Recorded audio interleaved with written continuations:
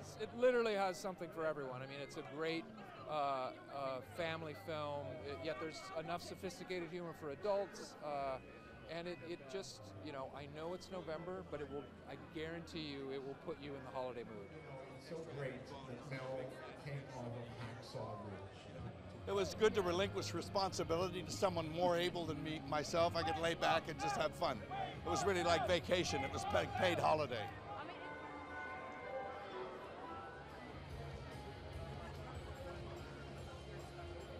Kind of stepped on the set and was like, he, he watched Mark and I kind of improvise and go because we have such a comfort level. This is our third movie together, and uh, you know, Mel's kind of sweetness came forward. He was like, guys, just just tell me if I'm if I'm messing up. And uh, he was, you know, we saw this very endearing side to him where uh, he, he, he kind of opened up his heart and was like, uh, I think he was just excited to kind of be along for the ride, and, he, and he's he's wonderful in the movie.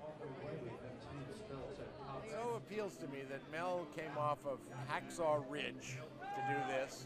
I came off of Winston Churchill in The Crown. Both of us have made such a huge gear shift. It's fun to do that.